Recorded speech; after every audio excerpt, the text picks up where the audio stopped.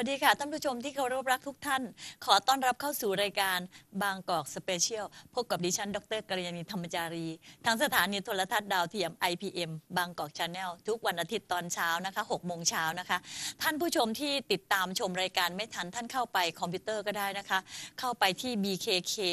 underscore new at ipmlink.net ก็ได้นะคะ หรือว่าโทรส่งเข้ามาอีเมลนะคะ ส่งเข้ามาที่ pkto U R K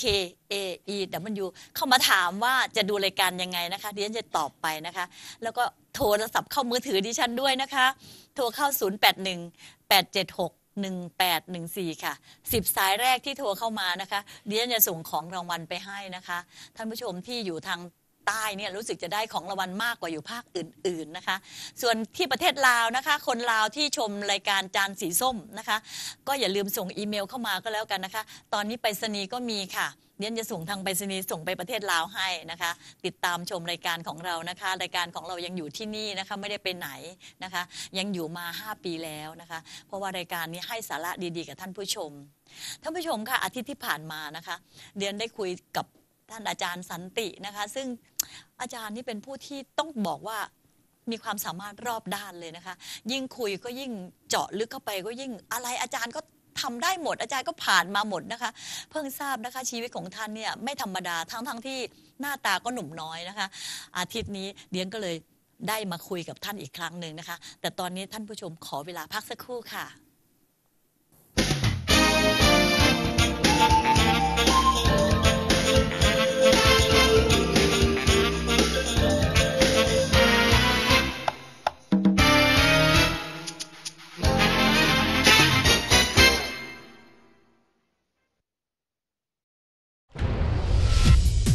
เติมเต็มทุกสัมผัสอารมณ์กับทุกรับสัญญาณดาวเทียม IPM HD Pro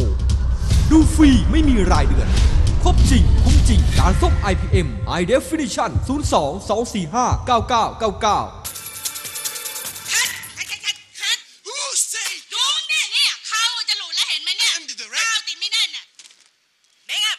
แล้วอีกอย่างนะสามคนเนี่ยเล่นทุกเรื่องเลยทำหนังอะซีเรียสบ้าง 10 years กล้องสองเนี่ยไปเปลี่ยนเป็นโซม แล้ว 18K เลื่อนไปยิงแบ็คเอาบทมาดูจบแบบนี้อีกแล้ว I'm the director ดูมาเยอะ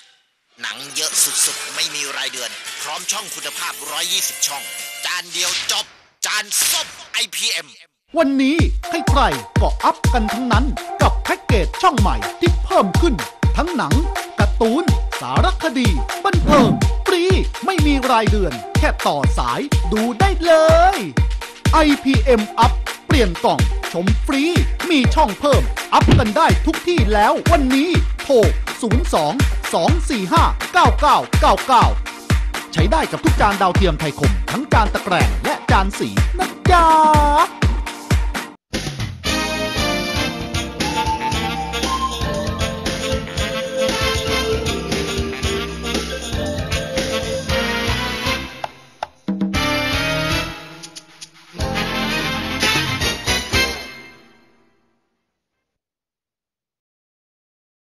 ค่ะ ท่านผู้ชมคะตะกี้ที่เกริ่นไปนะคะ พอเกริ่นแล้วอาจารย์สันติที่เราจะมาวันนี้ขอขอแนะนำอาจารย์สันติอีกครั้งหนึ่งนะคะสวัสดีตะกี้ครับอาจารย์ดรสันติกัลยาณีครับได้ยินได้ยินบอกว่าคนลาวดู ไม่ได้ยินบอกว่าคนใต้ดู อาจารย์ก็เลยจะทักคนใต้กับคนลาว อาจารย์ทักได้จริงๆเหรอคะ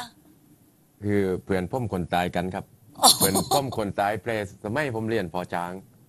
คนนครนะผมพ่อมพ่อมคนนครกันครับอ้าวอาจารย์เป็นคนโคราชน่ะทำไมนพูดครใต้ราได้ชสีมาไงโอ้นครราชสีมา แต่พูดภาษาใต้ได้เลย เพื่อนสอน เพื่อนสอนครับ เสียงให้เลยนะคะ อาจารย์ เอาแล้วตะกี้บอกว่าคนลาวอาจารย์ก็พูดได้อีกผแล้มวเคยไปเที่ยวลาวนะ เออสวัสดีคนลาวหน่อยค่ะอาจารย์ สวัสดีพ่อแม่พี่น้องเศร้าเล่าทั้งหลาย โอ้เยี่ยมมากเลยอาจารย์คะอาทิตย์ที่ผ่านครับมาอาจารย์วันนั้นไม่สบายอุตส่าห์มา วันนี้เป็นยังไงให้หายขึ้นก็ได้ยัง ดีขึ้นมานิดนึงฮะแต่ก็ยังไม่ไม่ดีมาก อาจารย์กังวลนะคะตะตะกี้อาจารย์บอกว่าโอ๊ยอาจจะมีเสียงไอบอกว่าไอไม่เป็นไรค่ะ ขอขอตัวเป็นๆของอาจารย์มานั่งออกรายการให้เราก็พอแล้วนะคะครับเพราะว่าอาทิตย์ที่ผ่านมายังติดใจอาจารย์ ไอเรื่องการปั้นการอะไรเอาไปแสดงต่างประเทศเออเราโอ้ยค้างกันที่ค่ะว่าเรื่องการประกวดอะไรใช่มันค่ะยากอาจารย์จริงมันยากค่ะมันเหนื่อยค่ะลำบากอืมลำบากแล้วทำไงมันถึงได้ไปถึงระดับโลกขนาดนั้นล่ะคะอาจารก็ย์นั่นแหละไอตอนที่เราคุยค้างกันไว้ตอนค่ะนั้นก็คือที่ว่า ครั้งแรกปี 2010 เราไม่ประสบความสำเร็จในการเข้าหนึ่งในสิบค่ะเราได้แค่หนึ่งในยี่สิบห้าตั้งแต่วันแรกยันวันสุดท้ายก็ยังหนึ่งในยี่ห้าโอ้เพราะว่าเราเห็นว่าคนเนี่ยไม่สามารถที่จะเข้าไปให้คะแนนเราได้ในในในพิพิธภัณฑ์ อยู่ชั้นสามอีกต่างหากนะ โอ้โห มีหลายคนบอก มันสูงมากไม่มีคนบอกพิพิธภัณฑ์นี้มีชั้นสามด้วยเหรอ โอ้โหโอ้โหเขาไม่รู้จักเลย แย่ๆเลย เขาไปให้คะแนนไม่ได้แน่นอนถูก มันเป็นการโหวตตั้งแต่เด็กอายุ 16 ปีขึ้นไป นะแล้วก็เหมือนการเลือกตั้งนายกค่ะนะโอ้ ชื่องาน Art Prize อยู่ที่มิชิแกนแกลบิดรัฐมิชิแกน ทีนี้เอ่อปีหน้าของปี 2010 ก็คือปี 2011 เราตัดสินใจว่าเราทำยังไงดีจะโชว์ได้ 24 ชั่วโมง ก็คงต้องเป็นข้างนอก แต่ตอนนั้นตุลาคมเริ่มหนาวของเขาละถึงขั้นฝนโปรยมาด้วย แล้วก็ลบลบหนึ่งองศาหรือศูนย์องศาด้วย เราจะต้องศักยภาพทางร่างกายจิตใจต้องแข็งแรงมาก สองรูปปั้นของเราจะต้องไม่เปียกฝน จะต้องไม่โดนคนทุบทำลาย เพราะว่ารูปปั้นของเราเป็น resin fiberglass ค่ะนะฮะจึงทำเป็นกล่องตู้ ยังมีคนว่าด้วยนะเฮ้ยปั้นรูปปั้นแล้วเอาไปใส่ในตู้ป๊อปคอร์นอะไรเงี้ยนะเขามีมีแซแซววแซวมีว่ากันคืออก็ถูกสู้กันไม่ใช่ว่าแค่เรื่องศิลปะแต่กลายเป็นเรื่องของนะ การทำลายกันด้วย ค่ะ มีคุณต้องสู้แบบนั้นด้วย ฉะนั้น วิธีการที่จะเอาชนะ แล้วก็จะพัฒนาจากอันเดิมก็คือหนึ่งต้องโชว์ข้างนอกคนเลือกได้ 24 ชั่วโมงสองต้องทำอะไรที่คนไม่ที่คนรู้จัก ค่ะ ก็คือหลวงปู่เลื่อนครั้งที่แล้วก็คือคนไม่รู้จัก ค่ะ ก็เลยปั้นประธานาธิบดีเจอรัลด์ อาร์ฟอร์ดโอ้ ประธานาธิบดีคนที่ 38 ของสหรัฐท่านเสียชีวิตไปนานแล้ว แต่ปั้นที่อเมริกาเลยใช่ไหมคะ ใช่แล้วเราก็เลยปั้นท่าน แล้วก็ปั้นท่านเนี่ยเป็นหุ่นไฟเบอร์กลาสเหมือนจริงยืนยืนถือไปป์ท่านชอบดูดไปป์ ยืนลักษณะนี้ค่ะอ่าแล้วกำลังยืนดูตัวเองอืมซึ่งเป็นโลหะบรอนซ์ครึ่งตัว อ๋อเหมือนว่าท่านเนี่ยเจอรัลด์ อาร์ฟอร์ด visit ArtPrize visit ArtPrize หมายถึงท่านมาเยี่ยมชมงานอาร์ตไพค่ะโดยการที่มาถือถือคะแนนโหวตที่มือมือซ้ายอย่างเงี้ย เหมือนมาโหวตคะแนนให้ผมที่ผมปั้นท่านเนี่ย โอ้โหแต่ตัวท่านน่ะตายไปแล้ว แต่ให้คนดูรู้สึกว่าท่านยังไม่ตายท่านเกิดใหม่ไงอืมเรามาเชียร์ผมที่ปั้นท่านจินน่ะตนาการ ในการปั้นเนี่ย ฮะ โอ้คิดได้ไง ก็ช่วยกันคิดอยู่กับครอบครัวกับคุณเอกาด้วยทำยังไงทีนักข่าวเขาก็เขียนนะ บอกว่า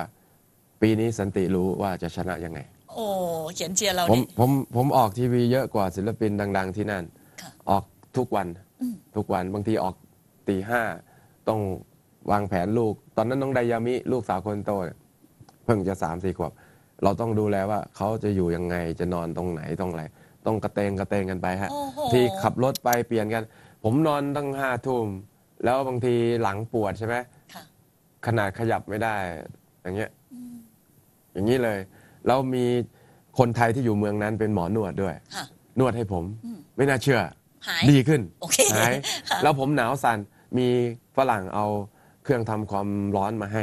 ฮีเตอร์มาให้อย่างเงี้ยแล้วมีคนเอาอาหารเอาขับข้าวมาส่ง โอ้โห คนคนไทยที่อยู่ที่นั่นเอาตังค์มาให้บอกรู้สันติว่าเวลาเราเป็นคนเอเชียเป็นคนไทยมาสู้มันลำบากเท่าไหร่ เอานี่นะ คุณอาให้เอาไว้ใช้เอาตังค์ให้โอ้โหเอาข้าวให้กินอะไรเงี้ยโอ้โหเงินมันไม่เท่าไหร่หรอกแต่มันใช่ เหมือนมันมีเพื่อนอะ ใช่ใช่อืม แล้วก็พวกชาวต่างชาติพวกหมู่บ้านเขาแต่นี่งานเนี่ยมันเป็นอย่างนี้ ไม่น่าเชื่อ มันเป็นจริงๆมันเป็นเรื่องจริง งานเนี่ย เขาจะเชียร์คนของเขาอะนะค่ะ เพราะเหมือนนายกเขาก็เชียร์คนบ้านเขาอะค่ะ เราศิลปินจากประเทศไหนก็ช่างเขาก็คงจะเลือกเชียร์บ้านเขาสมมติว่าแข่งฟุตบอลไทยแข่งกับอเมริกาเขาเชียร์ใครอะเชียร์อเมริกาอะไรเงี้ยผมแพ้สามคน ก็คือคนอเมริกัน แล้วเป็นคนที่เกิดตรงนั้น อืมอ๋ออ่า คนพื้นที่เลย ใช่ งานเนี้ยผมจึงได้หนึ่งในสี่ของศิลปะ ทุกแขนงโลก แต่ผมเป็นที่หนึ่งของปั้นหมดโลกนั้น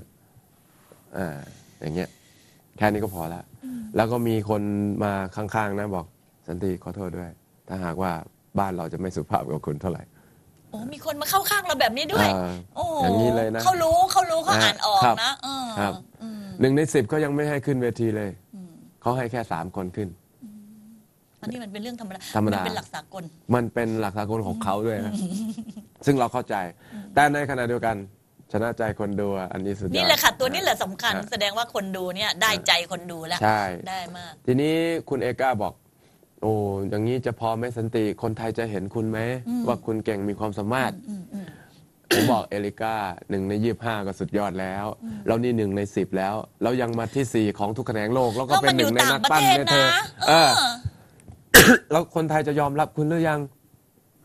บอกมาเถอะมาบอกเขาเถอะผมมาถึงออกแม้กระทั่งตีสิบเจาะใจทุนไนโชว์ออกมันหมด อะไรใหญ่ของประเทศออกหมดคนเดียว ออกมาจนที่เมื่อกี้ท่าน ดรกายันนี่บอกอะไรออกตั้ง 60 กว่ารายการ จริงๆใช่มันเกือบร้อยแล้วครับอ๋อเหรอคะแหมมันโอ้โหบางรายการก็ไม่ได้สายบางรายการก็ไม่ได้ดูอะไรแต่อาจารย์สันตินะคะเรียนชื่นชมก็คือว่าครับอาจารย์สันติเนี่ยเป็นศิลปินที่บอกเลยนะคะว่าเรื่องเงินนี้ไม่ได้สำคัญ คือศิลปินนี่เราต้องชื่นชมศิลปินนะคะว่าเขาไม่ได้ว่าทำโน่นทำนี่เพื่อที่จะให้บอกว่าฝีมือเขานี่เพื่อจะต้องการเงินนะคะศิลปินเขาอยู่ที่ความพอใจใช่ไหมคืออย่างนี้ะเป็นอย่างนี้ ค่ะ เงินไม่ใช่ว่าไม่สำคัญสำคัญค่ะ นะแต่ถ้าคุณคิดแต่เรื่องเงิน คุณจะไม่ได้เงินหรอก อืม คุณคิดเรื่องงานสิ ค่ะ คุณทำงานให้ประสบความสำเร็จในงานนั้น ดีที่สุดค่ะเงินมันมาเอง ค่ะ ความรักความพอใจอะหนึ่งได้ละสองทำประโยชน์ให้สูงที่สุด เงินมันมาเองนั่นถือว่าเป็นรางวัล โอ้โห อ่านี่นี่แหละค่ะ วันนี้อ่าถึงได้มาคุยกับอาจารย์สันติว่า เราเห็นหนังสืออยู่เล่มหนึ่งที่อาจารย์สันติเนี่ยทำเล่มนี้เนี่ย เป็นยังไงคะเราโอเรื่องเค หนังสือเล่มนี้ เริ่มโครงการนี้ก็คิดกับคุณเอก้ามาสี่อ่าหกปีแล้วเดี๋ยวนะครับโชว์หน่อยโชว์หน่อยนิดหนึ่งโชว์หน่อยโชว์หน่อยนี่ครัค่ะบหนังสือชื่อหนังสือร่วมว่าค้นหาพระพักตร์ของพระพุทธเจ้าตามประวัติศาสตร์โลกเล่มที่หนึ่งรวมค้นตอนหารหัสลับมหาบุรุษแห่งพุทธะ โดยอาจารย์สันติพิเชษชัยกุลและคุณเอริกาพิเชษชัยกุลจะไปหาหนังสือเล่มนี้ได้ที่ไหน ตอนตอนนี้รู้สึกว่ากำลังปรับปรุงหน้าปกใหม่นะครับ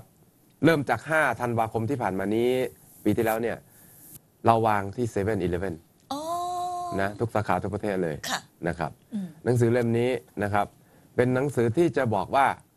ใครกำลังทำอะไรเพื่ออะไร มก็คือผมสันติกับคุณเอก้ากำลัง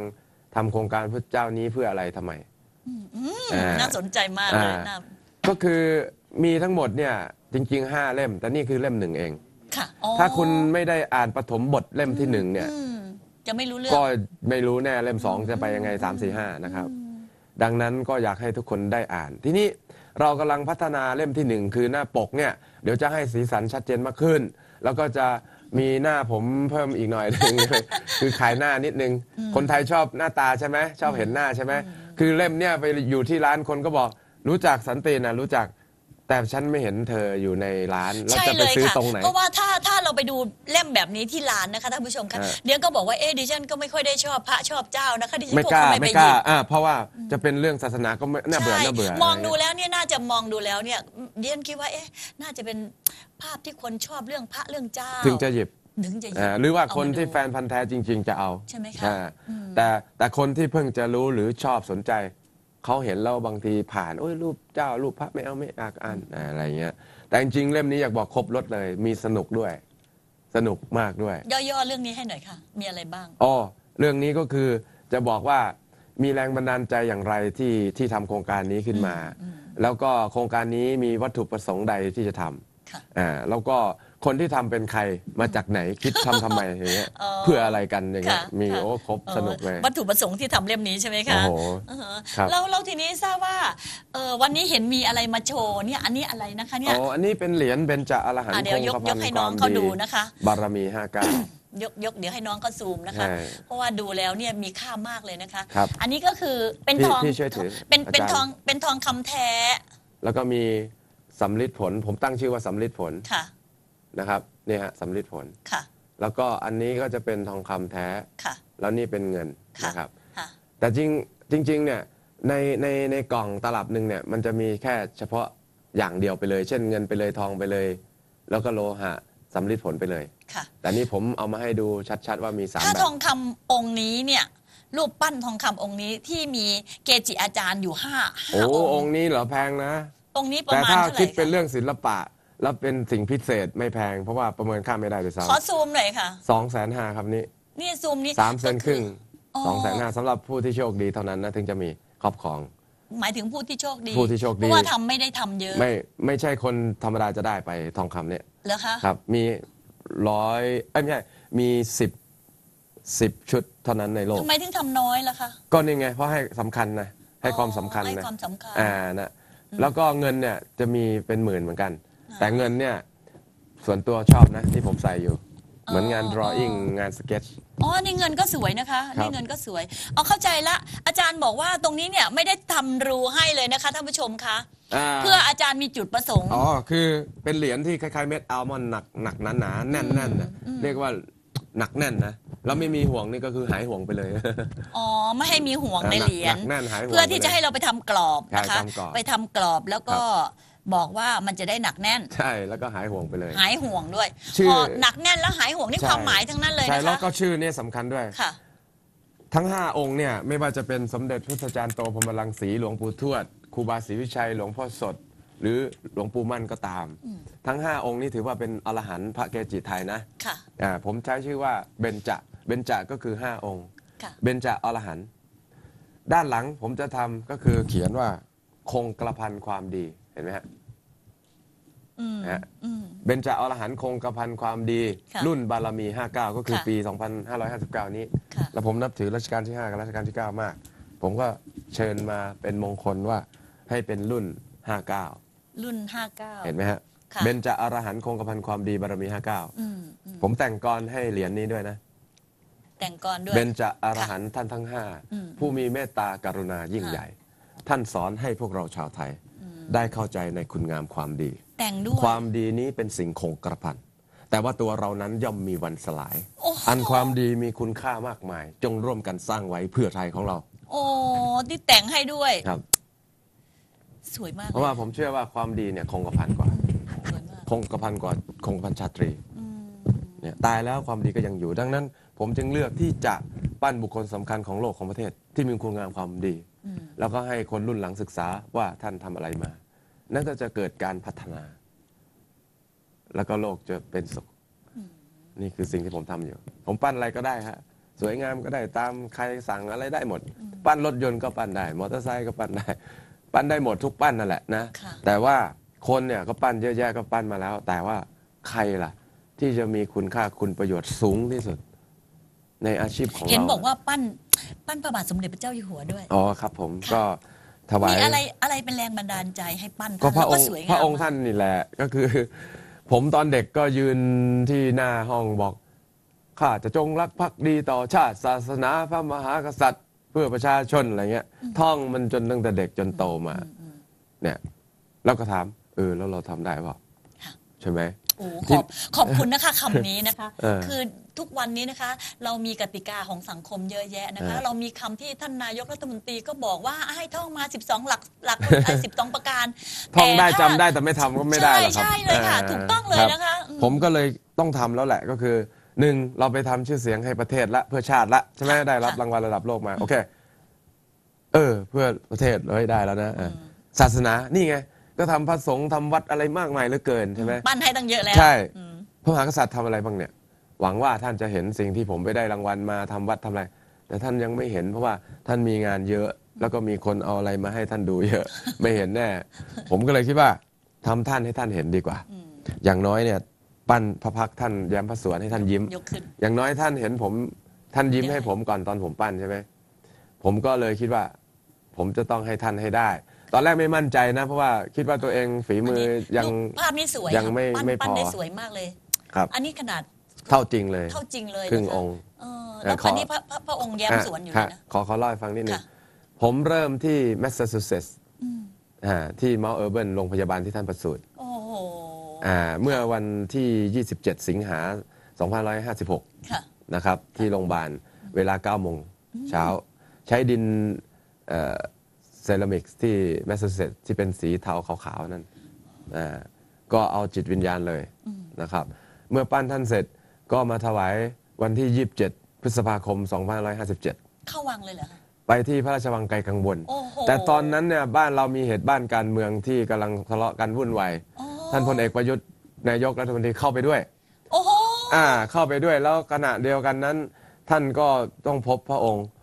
เขาบอกทำไมผมมาวันนี้อะ ทำไมไม่มาวันอื่นจะได้เจอ ผมบอกไม่เป็นไรผมอยากมาวันนี้ เพราะวันนี้คือวันครบ 9 เดือนเต็มที่ผมทำพระองค์ โอ้โหเก้าแล้วเยถ้าเหากว่าท่านเห็นบ้านเราทะเลาะกันวุ่นวายก็ไม่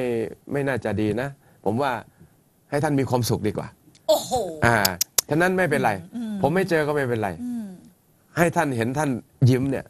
อย่างน้อยท่านเห็นตัวเองยิ้มเนี่ย ผมว่าท่านน่าจะยิ้ม ความทุกข์นั้นจะได้หมดไปโอ้โห นะฮะแล้วท่านยิ้มให้ผม ผมมีความสุขรูปปั้นเนี่ยค่ะ ผมก็คิดว่าประชาชนชาวไทยทั้งหลายเมื่อเห็นแล้วจะต้องมีความสุขด้วย เช่นกัน เพราะว่าภาพภาคยิ้มนี่หาไม่ค่อยเห็นนะคะ ครับ ไปดูที่ไหนก็ไม่ค่อยมีภาพไม่ยิ้มฮะในในรูปปั้นที่ผมปั้นนั้นน่ะ ถ้าดูจริง ๆ กับรูปที่ผมปั้น ค่ะ จะไม่เหมือนกับรูปที่เลือกใช้ เพราะหนึ่งตอนแรกที่ผมปั้นภรรยาผมกับกับพ่อตาผมคุณโทนี่เนี่ยภรรยาผมคุณเอก้าบอกว่า เหมือนละ เหมือนเหมือนเหมือนเหมือนในหลวง ผมบอกเหมือนก็ไม่ใช่นะอ้าวเหมือนแล้วไม่ใช่ได้ไงอะค่ะ ผมรู้จักพระองค์ท่านมากกว่าที่คุณเห็น ไม่ใช่แค่แค่เหมือน ท่านมีอะไรมากกว่านี้ ค่ะอะไรของคุณอะเดี๋ยวทำเองขอเวลา เอ้าเดี๋ยวต้องรอแล้วนะ ไม่ทันส่งนะมาเดี๋ยวขอผมผมลื้อหน้าพระพักตร์ท่านลื้อเลยคืนนั้นเลยเธอลงมาดูด้วยบอกทำอะไรเนี่ย สันติชอบไม่ไม่เสร็จไม่จบกับงานรู้นิสัยโอ้อ่า ก็มาดูเธอเห็นผมกำลังขูดหน้าออก ขูดขี้ผึ้งออกครับ ที่อเมริกาผมปั้นทำอะไรเนี่ยเขาบอกทำได้ไงเนี่ย แล้วคุณคิดว่าคุณจะแก้ไขได้เหรอแล้วเวลาไม่ทันเดี๋ยวเราต้องเดินทางไปถวายท่านเลย ปล่อยฉันเถอะ ฉันรู้จักพระองค์ท่านมากกว่า พวกคุณก็แล้วกัน โอ้โห เห็นตั้งแต่เด็กแล้ว แสดงว่าภาพที่ทำเสร็จแล้วเรียบร้อยแล้ว ก็ยังไปทำใหม่แก้ไขอีก แก้ไข โอ้โห ไอ้ที่เขาว่าเสร็จเหมือนแล้ว ผมยังว่าไม่ใช่ไงค่ะผมก็เลยแก้แล้วก็ผมลื้อคืนนั้นอยู่กับคนเดียว คือผมเนี่ยทำงานไม่ไม่ได้ยากหรอก คือประสบการณ์เยอะค่ะแต่ยากก็คือการครีเอทการคิดการหาเหตุและผลหาเอ่อข้อมูลเนี่ยแหละยากของผมทำแป๊บเดียว เมื่อผมรู้ว่าจะเอาอยัางไง ผมทำได้ ผมรู้ว่าท่านมีความเมตตากรุณา แล้วก็มีความเป็นกษัตริย์ แล้วก็มีความสง่างามด้วย ไม่ได้หยิ่งด้วย มีความสมถะด้วย ผมต้องเอามาให้หมด สิ่งที่ผมรู้จักท่าน เข้าไปในรูปปั้นไม่ใช่ต้องแค่มีรูปปั้นข้อเก็บข้อมูลมาหมดต้องอยู่ในนี้หมด ใช่ แล้วรูปปั้นครึ่งองค์ไม่ได้แสดงกริยาท่าทางแอคชั่นช่วยไม่มี แต่แต่หนึ่งแล้วเยอะทำยังไง อะไรน้อยแต่เยอะทำยังไง แล้วการดีไซน์ออกแบบของผมจะไม่เหมือนใคร เพราะว่าทำไมไม่เหมือนก็เพราะว่าผมไปดูคนอื่นมาแล้วไงทำยังไงจะไม่เหมือนพวกเขาไงจึงจึงมีคนเห็นว่าไม่เหมือนใคร ก็ใช่ เพราะว่าผมดูมาก่อนเพื่อไม่ให้เหมือนใคร ดังนั้นเมื่อนำไปถวายท่านวันที่ 27 รองราชเลขานะที่นั่นที่พระราชวังไกลวนท่านดิษฐรวัชโรไทย ท่านบอกคุณไปอยู่ไหนมา เก่งมาก นี่เป็นในหลวงรูปปั้นที่สวยที่สุดเหมือนที่สุดเท่าที่ประเทศโลกเขามีกันมาค่ะแต่ว่าติอย่างเดียวคือสีมันเข้ม ตอนนั้นผมส่งขี้ผึ้งไปท่านเห็นว่ามันสวยทานท่านบอกในหลวงชอบเรียบๆง่าย ๆ ไม่ต้องอะไรเยอะ ขอให้แก้ไขสีหน่อย ผมก็เลยไปแก้ไขสี ท่านถามกี่วันเสร็จผมบอกสองวันทำไมมันเร็วขนาดนี้ ผมบอกก็ไม่รู้ใครจะช้ายังไง ผมเอาอย่างเงี้ย ผมก็ไปแก้ไขสี วันที่ยี่สิบเก้าผมไปชายเชิงเซาอีกครั้งหนึ่ง วันที่สามสิบขับรถคนเดียวเลย ขับรถเหยียบเลยนะ จากกรุงเทพไปถึงพระราชวังไกลกังวลหัวหิน เหยียบไม่คิดชีวิตเลยครับ เหยียบแรงมาก ถ้ามีด่านตำรวจเรียกเนี่ย ถามว่าไปไหน ผมก็จะบอกว่าไปหาพระองค์ท่านนะไม่มีใครเรียกผมเลยครับ ไปถึงท่านดิษฐรมารับโอ้ยต้องอย่างงี้สิอะไรเงี้ยพงนี้ผมถวายเลยขอให้ผมเขียนจดหมายถึงพระองค์ท่านด้วยว่า ผม ผมมีอะไรข้อความในใจเขียนเขียนเขียนเขียนแล้วเล่าให้ท่านฟัง พอสองวันต่อมาผมตอนแรกเขาเงียบเนาะอะไรอะให้แล้วเขาเงียบ มีโทรมา ผมถามว่าไง ท่านว่าไง ท่านบอกสวยดีโอ้แล้วอีกสองวันต่อมาโทรมาอีกสี่วัน อาจารย์ท่านถามว่าหนักกี่กิโล จะให้คนทำฐานเพิ่มโอ้เพราะว่าจะไว้ในห้องพระโรงที่พระราชวัง เนี่ย เอาแล้วของคนอื่นเขาไม่โชว์เหรอ ท่านบอกว่าไม่ใช่เราจะโชว์ทำไม โอ้โห เรามีห้องเก็บด้วย แล้วผมก็ปลื้มสุดๆแบบ แล้วตอนเนี้ยพอท่าน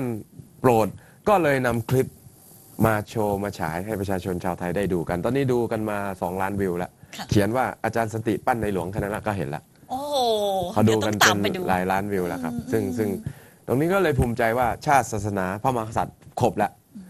ประชาชนมีความสุขเห็นไหมครบแล้วเนี่ยค่ะ แต่สี่อย่างเนี่ย บ้านเราเป็นเมืองพุทธ อาจารย์ใหญ่ของในหลวงของพวกเราคือพระพุทธเจ้านะ ผมปั้นลูกศิษย์ท่านมามากมาย เกจิอาจารย์มากมาย ลูกศิษย์ของพระเจ้าทั้งนั้นเลยค่ะค่ะแล้วอาจารย์ใหญ่ทำไมเราไม่ทำจงทำซะเถอะโอ้โหนะ นี่จึงเกิดเป็นโครงการขึ้นมาครับผม นี่แหละ ถ้าจะถามอะไรก็จะบอกได้ ตอนนี้ขออภัยทุกท่าน ไอนะครับลำบากนิดนึงแล้วยังปไม่ระชาหยชนประชาชนจะติดตามงานของอาจารย์สันติได้อย่างไร ครับก็คือเอ่อในใน YouTube ก็จะมีอยู่เรื่อยๆ ก็จะบอกว่าวันนี้ผมทำอะไรหลายรายการก็มาถ่ายมาสัมภาษณ์กันโอ้อย่างเงี้ยค่ะอย่างอย่างอ่าอย่างหนังอย่างสือเงี้ยนี่ก็อย่างจะอย่างมีวันอย่างที่อย่าง25 มีนาอ๋อต้องรอ25 มีนาเนี่ยเซเว่นนะครับ 25 มีนา อ๋อและและและจะมีเหรียญเบญจอรหันต์คงกระพันความดีบารมี 59 เหมือนเดิม เพียงแต่แบนกว่าเดิม ลงทุนน้อยกว่าเดิม เพราะว่าอันเนี้ยให้เช่าถูกก็ไม่ได้เพราะลงทุนเยอะมากนะครับทำยากมากๆ ปั๊มตั้งสี่ครั้งเนี่ยพิมพ์เสียแล้วเสียอีก ทีนี้ก็เลยคิดว่าเขาบอกว่าอาจจะแพงอยู่นะครับ ก็นี่ก็เป็นระดับชนชั้นกลางที่มีเงินประมาณ แต่ว่าคนที่ชั้นล่างจริง ๆ ไม่ใช่เขาไม่อยากได้ จึงร่วมกับเซเว่นคิดใหม่ว่า โอเค ทำเหรียญคู่กับหนังสือไปเลย 199 บาทก็พอ โอ้โหท่านผู้ชมเรามีโอกาสแล้วค่ะท่านผู้ชมคะครับร้อยทั้เก้างเหรีสิบยญเก้าทั้งหนังบาทสือ นี่ยังไงเราต้องไปจองหรือเปล่าคะเนี่ย ซื้อเลยเจอเลยได้เลย เจอเลยใช่ไหมได้คะไปเลยได้ไปเลยไม่ต้องมาทั้งหนัไม่งต้องสือมาทั้งเช่าเหรียญแบบก็นี้มันถูกนะ ก็ใช่อะดิโอ้โหแต่ว่าอยากให้ความรู้มากกว่าอืม ครับตอนนี้ผมอะเรื่องเรื่องกำลงกำไรเนี่ยผมผมไม่อะไรเท่าไหร่แล้ว เพราะว่าเซเว่นมาเป็นสปอนเซอร์ให้ผมแล้ว ค่ะ เล่ม 2 เล่ม 3 เล่ม 4 เล่ม 5 ก็ตาม จนแม้กระทั่งสารคดีที่ผมจะต้องเดินทาง ไม่ว่าจะถ่ายเป็นอังกฤษไทย หรือการเดินทางที่มหาศาลงบประมาณสูง ผมก็ไม่ต้องห่วงแล้ว เพราะว่า True เป็นสปอนเซอร์ให้ โอ้โห ครับโอ้ ดังนั้นเล่มแรกอะไรของผมเนี่ยก็คือผมลงทุนของผมเองไงท่านก็คงเห็นใจเนาะว่าลำบากผม ช้า แล้วก็หลายคนก็คงจะไม่ได้เห็น เพราะว่าใช้เวลาเป็นสิบปี แล้วผมเนี่ยมีพ่ออยู่สองท่านก็คือหนึ่งพ่อหลวงของเรา แล้วก็พ่อผมเอง สองท่านก็อายุมากแล้ว ค่ะ ผมอยากให้ท่านเห็น ก็ต้องรีบกันหน่อยฉะนั้นถ้าพวกเราชาวไทยอยากเห็นร่วมกันนะ ผมก็อายุโอเคไม่มากสี่สิบกว่า แต่ไม่รู้จะตายวันตายพรุ่งอะนะฮะ ถ้าตอนนี้ถ้าไม่ทำมันก็ไม่รู้ใครจะทำก็อยากให้ทุกคนช่วยกัน นี่คือ จะเปิดเผยโฉมปีหน้าเนี่ยคิดว่าถ้าตามนั้นนะ ก็คือวิสาขาบูชานะครับ พระพักตร์ของพระพุทธเจ้าที่ใกล้เคียงความเป็นจริงมากที่สุดในโลกตามประวัติศาสตร์ อืมท่านผู้ชมคะฮะฟังดูแล้วน่าสนใจมากเลยนะคะว่าจะมาเปิดโฉมในปีหน้าใช่นะคะซึ่งบอกว่าพระพุทธพระภาคของพระพุทธเจ้าเนี่ยเดี๋ยวตอนนี้ขอเวลาพักสักครู่เดี๋ยวมาใช่ฟังช่วงสองนะคะว่าทำไมพระภาคของพระพุทธเจ้านี่สำคัญยังไงนะคะนี่แหละที่จอยากพูดทำนะคะตรงนี้แหละเดี๋ยวรอสักครู่ค่ะ ครับ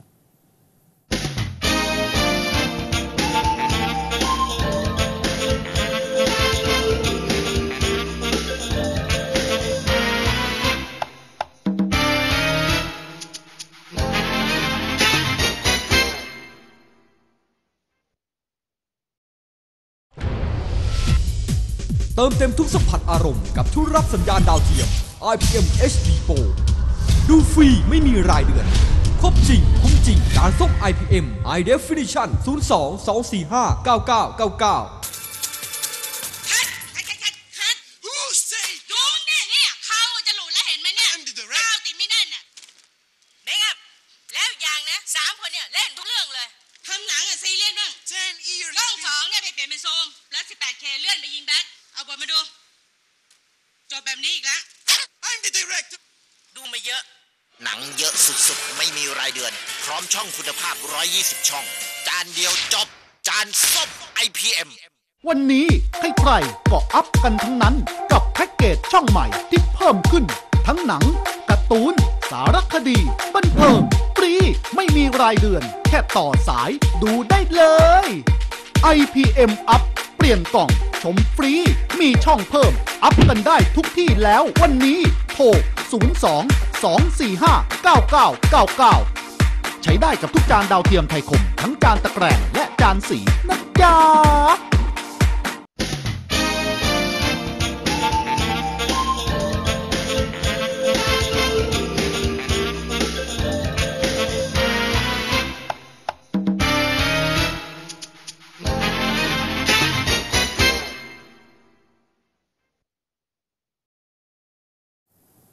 อาจารย์คะคะตะครักี้บนี่อาจารย์บอกว่าปั้นเอ่อปั้นลูกศิษย์ของพระพุทธเจ้าเยอะแล้วใช่ ปั้นอะไรมาเยอะแล้ว ก็เกจิอาจารย์ทั่วฟ้าเมืองไทยปั้นมาหมดแล้วปั้นมาหมดแล้วแม้แต่ในหลวงท่านก็เป็นลูกศิษย์เอกของพระเจ้าได้เหมือนกัน ค่ะแล้วเพราะว่าตอนนี้ ท่านมีความเป็นพุทธะด้วยเหมือนกันในหลวงอะ อืมเออ แล้วตอนนี้ทำอะไรต่อคะตอนนี้ก็คือจะปั้นอาจารย์ใหญ่ของของทุกองค์เลยไง อาจารย์ใหญ่ของเกจิอาจารย์ อาจารย์ใหญ่ของในหลวงก็คือพระพุทธพเจ้าระพุทธเจ้าอ๋อพระเนี่ยพุทธเจ้าผมได้แรงบันดาลใจมาจากทั้งสองท่านนี่แหละก็คือ ในหลวงเนี่ยท่านบ่มเพาะเมล็ดพันธุ์ทางการศึกษานะแล้วไม่ว่าท่านจะทำโอ้โหสถานช่วยเหลือคนเท่าไหร่ นับไม่ถ้วนเลยนะโครงการเยอะแยะพมากระราชมายกรณียกิจของถ้าท่านจะจะจะจะอ่าผมพูดไม่ไม่ถูกโอเค ก็คือปฏิเสธไม่ได้ค่ะว่าท่านเป็นพุทธะอืมตามหลักของพระเจ้าสอนเลย พระองค์ท่านนี่แน่นอนเลยนะครับ ดังนั้นแล้วผมก็เชื่อว่า ครอบครัวทั้งสองพระองค์เนี่ยถือว่าเป็นนักการเกษตร พระบาทสมเด็จเจ้าอยู่หัวของเราบิดาแห่งการเกษตรนะ ใช่ไหมค่ะครอบครัวของพระพุทธเจ้าก็เป็นครอบครัวที่ทำข้าวปลูกข้าวนะ ท่านเนี่ยมีฉายาว่าโคธรรมะโคธรรมะเนี่ยโคก็รู้ว่าแปลว่าอะไรใช่ไหมค่ะเป็นควายใช่ไหมอืมโคอ่าดังนั้นตรงเนี้ยใช้ชื่อคล้าย ๆ กับเกี่ยวกับฟาร์มเมอร์เกี่ยวกับกับชาวนา คือ บิดาของพระเจ้าเนี่ยถือว่าเป็นคนร่ำรวยนะแล้วก็ทำเรื่องฟาร์มเรื่องข้าวค่ะเพราะองค์เห็นมามากมายอยู่กับ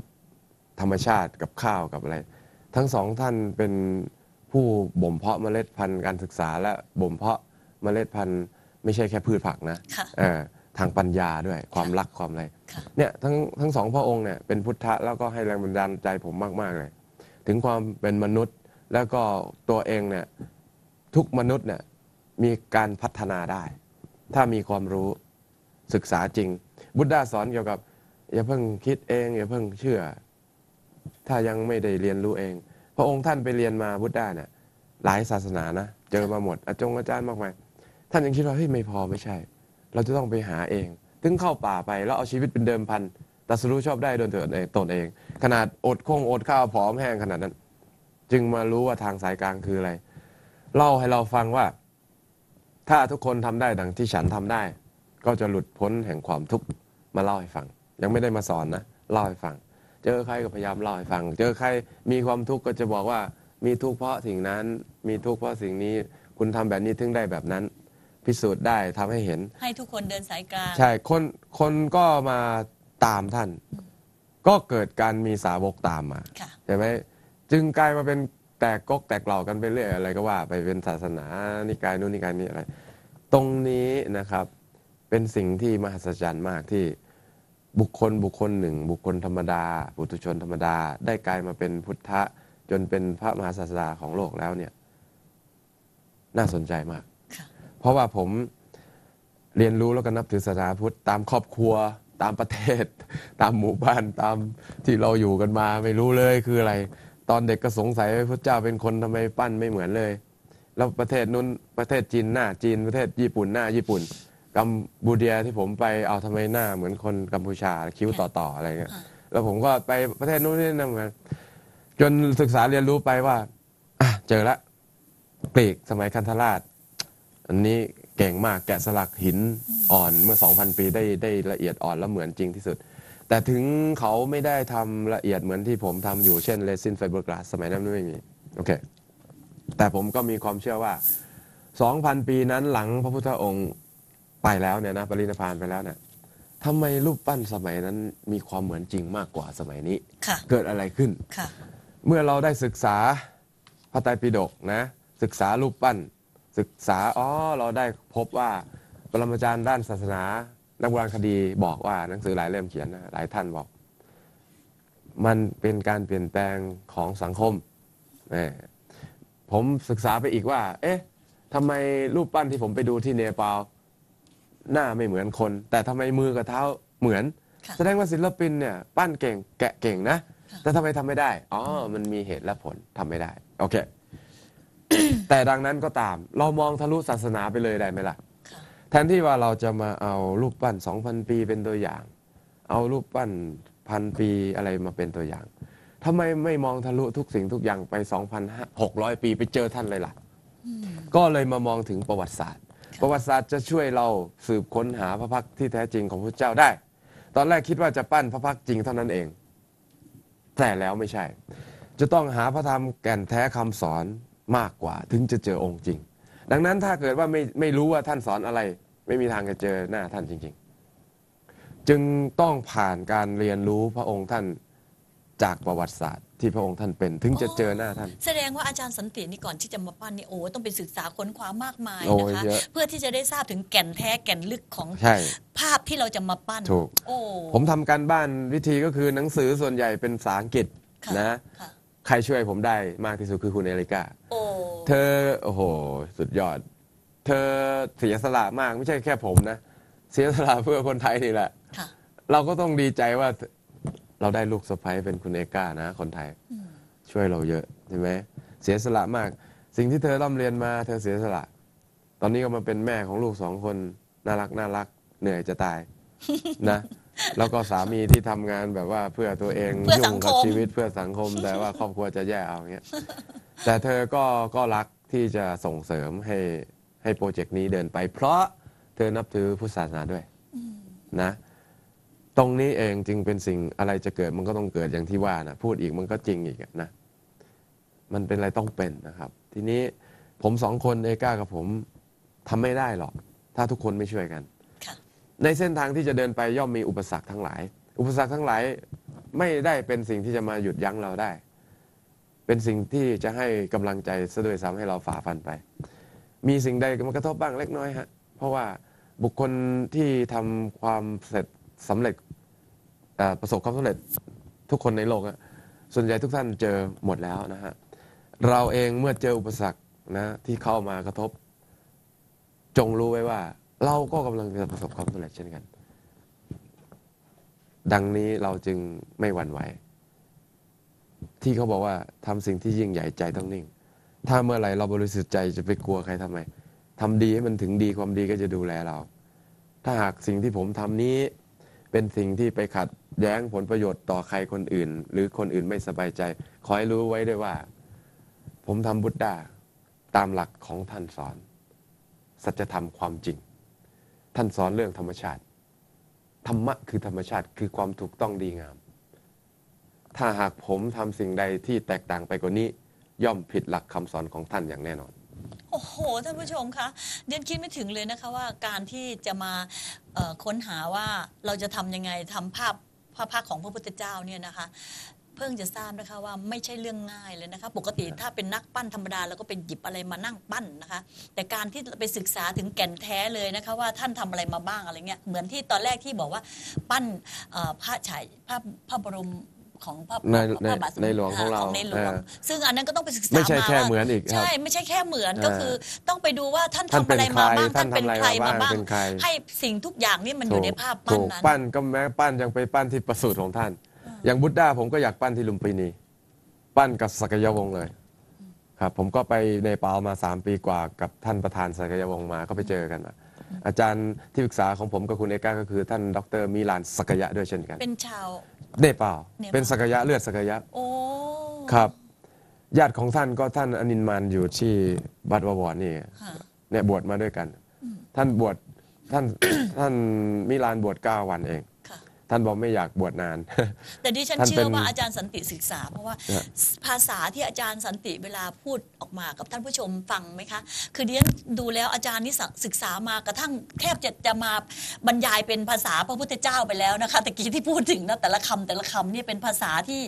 หายากนะคะ ไม่ใช่คนธรรมดามานั่งคุยกันนะคะอาจารย์ คือ ผมทำไม่ใช่ว่าเพื่อตัวเองหรือคนไทยพวกเราชื่นชมกันเองนะครับ ท่านนะครับ ต่างชาติด้วย ที่เขามองประเทศเรา ในฐานะที่ผมเป็นถือว่าเป็นตัวแทนของประเทศไทย คุณเอกาก็เป็นตัวแทนของอเมริกันค่ะโดยเฉพาะเธอเนี่ยมี character เป็นสากลด้วยซ้ำค่ะดังนั้นเราสองคนอยู่คนละขั้วโลกเลย ไทยอเมริกัน แต่สิ่งที่ทำคือทำเพื่อคนไทยคนไทยเราผู้หญิงผู้ชายหญิงค่ะหยางเนี่ยอืมสิ่งใดจะเกิดขึ้นน่ะมันก็ต้องร่วมด้วยช่วยกัน สองเพศนี่แหละ ชายหญิงนี่แหละ นะความเสมอภาคที่พระพุทธองค์สอนนั่นนะพระพุทธองค์สอนเรื่องความเสมอภาคและเท่าเทียมกัน โอ้ตะกี้อาจารย์สันติพูดนี่เราอยากจะเดินไปกับอาจารย์สันตินะคะท่านผู้ชมค่ะเราอยากจะช่วยจะจะจะผลักเราจะช่วยกันผลักดันยังไงครับให้ ให้มันฮะไปถึงเป้าหมายของคือาอจารย์สันติคืออย่างนี้นะเอ่อผมไม่ว่าอะไรหรอกครับใน Facebook หรือคนที่จะเข้ามาเขียนบ้าง นั่นเป็นเพราะว่าเขาไม่มีความรู้ เขาจะต้องได้ความรู้จากการอ่าน และการวิเคราะห์ และการวินิจฉัย ผมไม่ได้บอกว่าผมจะทำพระพุทธเจ้าให้เหมือนพระองค์ท่านเลย เป็นองค์ท่านเลยไม่ใช่นะครับ เป็นพระพุทธเจ้าที่ใกล้เคียงความเป็นมนุษย์นะครับ ใกล้เคียงความเป็นจริงมากที่สุดในโลกตามประวัติศาสตร์ที่โลกมีทำไมพูดอย่างนี้ เพราะว่าในโลกนี้ยังไม่มีประติมากรรมของพระพุทธองค์รูปใดเลยที่ จะเหมือนจริงสมจริงอย่างที่เรากำลังจะทำอยู่นี้นะครับ ส่วนใหญ่จะทำใหญ่อย่างเดียว ใหญ่ที่สุดในโลกอะไรก็ช่าง แต่เราจะทำใหญ่พอที่จะดึงดูดความสนใจให้คนมาเรียนรู้ เช่น เราทำไมถึงจะต้องให้คนบริจาคโลหะ เพราะจะให้คนสามัคคีกัน ให้คนพัฒนาถึงสิ่งที่เป็นไปไม่ได้ ให้เห็นถึงตัวตนเองที่มีการพัฒนาได้ เปรียบเทียบได้กับคนที่เสียแล้ว ยังสามารถพัฒนาตนเองให้เป็นคนดีได้ โลหะใดที่เสียแล้วทิ้งแล้วเอามาล้อมรวมกันให้เป็นสิ่งที่ยิ่งใหญ่มหัศจรรย์ได้ทำรายละเอียดให้เหมือนจริงสมจริงที่สุดในโลกไม่มี จึงกลายเป็นสิ่งมหัศจรรย์ของโลกได้ ประหยัดด้วยตามพระพุทธท่านพระพุทธองค์สอน เราจะหาที่ดินที่คนทิ้งแล้วไม่เห็นคุณค่า มาปรับเนรมิตนะครับ ให้เป็นสวนพฤกษชาติ เหมือนพระบาทสมเด็จพระเจ้าอยู่หัวของเราทำเกษตรทฤษฎีใหม่ที่พระองค์ทรงสอนไม่รู้เท่าไหร่นะครับ เนี่ยตรงเนี้ย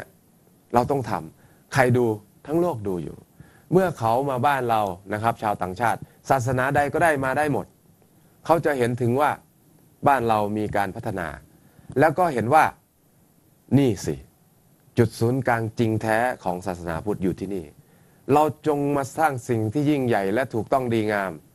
เพื่อความภาคภูมิใจของพวกเราชาวไทยที่เราชอบบอกว่า เราคือเมืองศาสนาพุทธ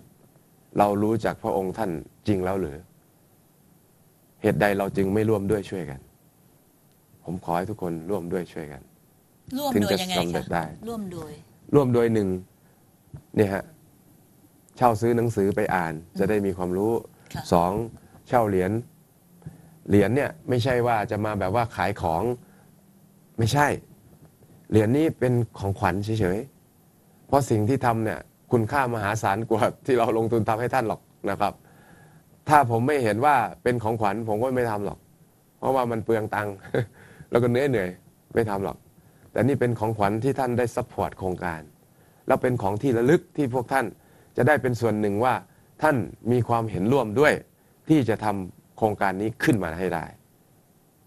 ผมเหรอตายไปแล้วผมจะเอาอะไรไปได้ครับท่าน ไม่ต้องกลัวผมรวยหรอกครับ ไม่รวยหรอกครับ ผมแค่มีพอกินพอใช้ก็อยู่ได้แล้วครับ ก็คือทุก ๆ คนที่ฮะสนใจเรื่องพวกนี้เนี่ยเขาก็จะได้ศึกษาด้วถูยกครับตามไปด้วยนะคะใช่ครับตามศึกษาเรื่องของพระพุทธใช่ครับเจ้า ตามศึกษาว่าเกจิฮะอาจารย์ของเราเนี่ยมีที่เขาครับคุยกันถึงเนี่ยมีความคุณคุณงามความดีมายังไงถูมีกการสอนอะไรยังไงถูกต้องใช่ไหมคะนั่นคือจุดประสงค์ จุดประสงค์อ่าแล้วการที่ปั้นพระพักตร์ของพระเจ้าได้เหมือนจริงที่สุดเนี่ยเราจะเข้าถึงท่านได้ง่ายกว่าที่เห็นท่านเป็นเทพสมมุติ เพราะว่าเมื่อไหร่ท่านเป็นเทพสมมุติ หรือเป็นศิลปะเหนือจริงขึ้นมาเมื่อใดนั้น เราจะเห็นท่านเป็นพระเจ้า แล้วเราก็จะเป็นบุคคลธรรมดาต่ำต้อยที่ไม่สามารถจะทัดเทียมหรือจะไปเข้าใกล้ท่านได้ ดังนั้นจึงลดช่องว่างระหว่าง เทพเจ้ากับมนุษย์ลงให้เหลืออาจารย์ใหญ่กับลูกศิษย์ได้ไหมโอ้เราจะได้กล้าปฏิบัติดีปฏิบัติชอบตามท่าน เราจะได้เห็นถึงความเป็นมนุษย์เหมือนกัน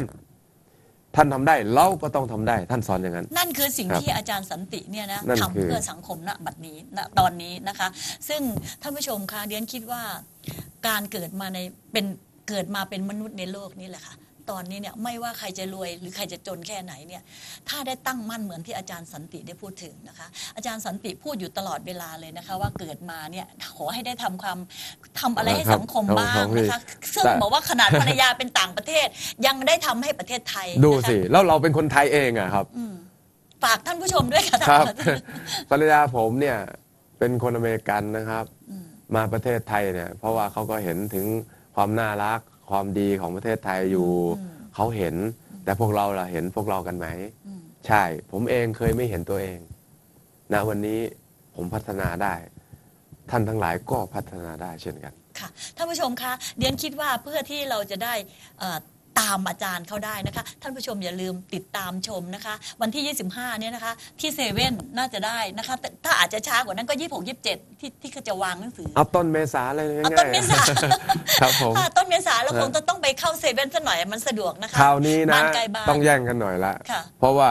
มันมีเหรียญด้วยเหรียญด้วยเอออ่อ่าแล้วก็เรียนคิดว่าถูกมากเลยนะคะใช่199ใช่บาท ปกติไปซื้อเล่มหนึ่งก็หลายร้อยใช่นะคะก็เพราะฉะนั้นฮะนะคะ อันนี้เหรียญด้วยเหรียญเหรียญฮะเหรียญตัวนี้นะคะที่ที่จะมีอยู่ในหนังสือใช่ไหมคะใช่เหรียญตัวนี้อาจารย์ยกเหรียญให้ดูฮะนี่ฮะนี่นะคะก็คือเดียนคิดว่าหนึ่งเล่มของหนังสือกับเหรียญปกติดิฉันจะไม่ชอบไม่มีการมาวางโฆษณาแบบนี้นะคะ แต่ครับเดียนคิดว่ามันเป็นภาพปั้นของนักปั้นระดับโลกเป็นที่คระลึกครับเป็นค่ะของขวัญให้ค่ะคิดอย่างนั้นนะฮะคือคือ นักปั้นระดับโลกเนี่ยมามอบของขวัญให้ท่านผู้ชมนะคะ ซึ่งท่านผู้ชมจะได้สามารถติดตามนะคะว่าเพงาราะนเพราะว่าเช่าซื้อขายผมไม่ใช่ราคานี้ ไม่ใช่ราคาค่ะผม อันนี้อะอันนี้ไม่ใช่ราคาที่จะได้ไม่กำใช่ไรอะไรไม่นะใช่คะ ฮะ แต่นั่นก็เป็นการเผยแพร่ผลงานของคนไทยคนหนึ่งที่ไปมีชื่อเสียงที่ต่างประเทศด้วยนะคะท่านผู้ชมค่ะวันนี้เดียนต้องขอกราบขอบพระคุณอาจารย์สันตินะคะถือว่าขอบคุณเป็นท่านคนที่ทำคุณประโยชน์ต่อดรกัลยาณีประเทศไทยมากเลยนะแล้วคะก็ขอบคุณแล้วนุญตท่านผู้ชมค่ะทั้งหลายด้วยลานะครับท่านผู้ชมไปพร้อม ๆ กันนะคะ สวัสดีนะคะ ที่อดทนฟังผมยังไม่สบายไม่ได้ครับ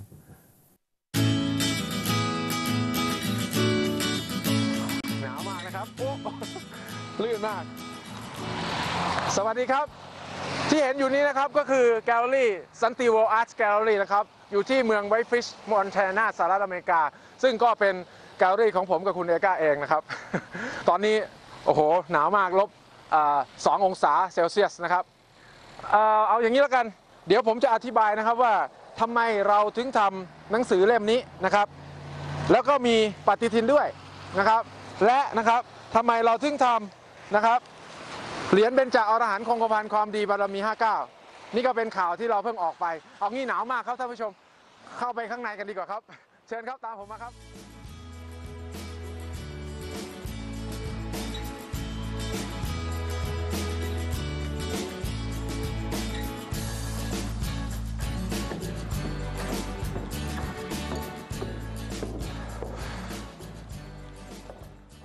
ดีขึ้นเยอะเลยครับ อุ่นมากเลย นี่คือแกลเลอรี่ของผมกับคุณเอริกานะครับรูปปั้นนี้เดี๋ยวเรามาคุยกัน เดี๋ยว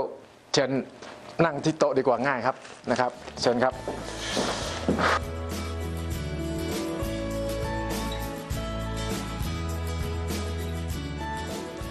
สวัสดีครับ เข้าเรื่องเลยนะครับออยากจะเล่าเกี่ยวกับ โครงการพระพุทธเจ้าโปรเจกต์ว่าทำไมเราทำกันขึ้นมา ผมกับคุณเอลิการ่วมกันคิดสร้างโปรเจกต์นี้ขึ้นมานะครับ เพราะว่าเรานับถือศาสนาพุทธกันนะครับ แล้วก็อยากรู้ว่าพระพุทธเจ้าที่แท้จริงเนี่ยท่านเป็นใครนะครับ ตรงนี้ก็เลยเป็นคำถามที่เกิดขึ้น เราก็ศึกษากันนะครับ ร่วมกับปรมาจารย์ด้านพุทธศาสนา นักโบราณคดี นักประวัติศาสตร์ของโลกมากมายนะครับ ก็เดินทางไปแล้วที่เนปาลมา 3 ปีกว่าแล้ว ตอนนี้ก็เขียนหนังสือนี่คือแค่เล่มที่หนึ่งนะครับ ชื่อหนังสือร่วมค้นหาพระพักของพุทธเจ้าตามประวัติศาสตร์เล่มหนึ่งนะครับ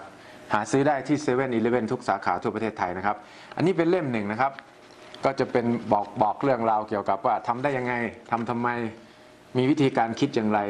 นะครับ มีหลักการอย่างไรที่จะหาที่จะค้นพบนะครับ ซึ่งอันนี้ก็ไม่ใช่เป็นเรื่องง่าย อันนี้เป็นเล่มหนึ่งขอให้อ่านก่อนนะครับ เราจะมีเล่ม 2 ด้วยมีนาคมนะครับ ที่จะถึงนี้ขอให้ติดตามด้วยนะครับ ที่เซเว่นก็จะเป็นแพ็กเกจอย่างนี้ครับนี่ฮะร้อยห้าสิบเก้าบาทนี่ฮะเป็นรูปแบบอย่างนี้ ทีนี้วิธีที่ช่วยโครงการโปรเจกต์นี้เราได้ก็คือครับมีเหรียญนะครับเบญจอรหันต์คงกระพันความดีบารมี 59ห้าองค์นี้นะครับอริยสงฆ์จะนำพาพวกเรานะฮะร่วมกันเดินทางค้นหาพระพักของพระพุทธเจ้า ที่ใกล้เคียงความเป็นจริงมากที่สุดในโลกตามประวัติศาสตร์ ด้านน่าจะเป็น 5 องค์ ด้านหลังจะเขียนว่าคงกระพันความดีบารมี 59 ซึ่งเราก็ได้ทำข่าวไปแล้วนะครับ วันที่ 28พฤศจิกายนที่ผ่านมานะครับ เมื่อวันพฤหัสที่ 19 นะครับนี่ฮะฉะนั้นนี่ฮะอยากให้พวกเราชาวไทยทั้งหลายช่วยกัน โครงการนี้เป็นการสร้างให้เราลำลึกนึกถึงว่าพระพุทธเจ้านะครับ เป็นปุถุชนธรรมดา แล้วก็มาเป็นพุทธะได้ นั่นหมายความว่าให้ลำลึกนึกถึงว่าท่านเป็นมนุษย์ แล้วก็ตัดสรู้ชอบได้ด้วยพระองค์เองนะครับ ท่านนำหลักคำสอนมาสอนเราเรื่องธรรมชาติ เรื่องของถ้าหากว่าเราหลุดพ้นจากความทุกข์ได้ ทุกคนก็จะมีความสุข นี่คือสิ่งที่ผมกับคุณเอการักแล้วก็นับถือเคารพพระพุทธเจ้ามาก อยากจะรู้จักพระองค์ท่านว่าจริง ๆ แล้วท่านเป็นเช่นไรครับขออธิบายถึงจุดประสงค์หลักในการทำหนังสือ แล้วก็เหรียญเบญจอรหันต์คงกระพันความดีบารมี 59 นะครับ ว่าเราทำทำไม นี่จะเป็นการอ่า สร้างรายได้สมทบทุนในการเดินทางนะครับ ซึ่งเราจะทำสารคดีนะครับ ตอนนี้เราจะเดินทางต่อไปที่อินเดียและปากีสถานด้วยทำสารคดีเป็นภาษาไทยและภาษาอังกฤษนะครับ แล้วก็จะมีรูปปั้นนะครับบรอนเท่าองค์จริง แล้วก็ครึ่งองค์แล้วก็เหรียญด้วยนะครับ ตรงนี้ก็จะทำพิพิธภัณฑ์ธรรมสากลมีประติมากรรมองค์ใหญ่นะครับ สูง 19 เมตร อยู่บนพิพิธภัณฑ์ จะให้ประดิษฐานอยู่บนพื้นแผ่นดินไทยนะครับ เป็นสิ่งมหัศจรรย์ของโลก เพราะว่ารายละเอียดในบรอนซ์ที่เหมือนจริงนั้นไม่มีในโลกนี้นะครับ ให้เกิดความภาคภูมิใจที่พวกเราชาวไทยมีโฉมหน้าพระพักตร์ของพุทธเจ้า ที่ใกล้เคียงความเป็นจริงมากที่สุดในโลกตามประวัติศาสตร์สำหรับเหรียญนี้จองได้ที่เซเว่นแคตตาล็อกนะครับทุกสาขาทั่วประเทศครับผมขอบคุณมากครับ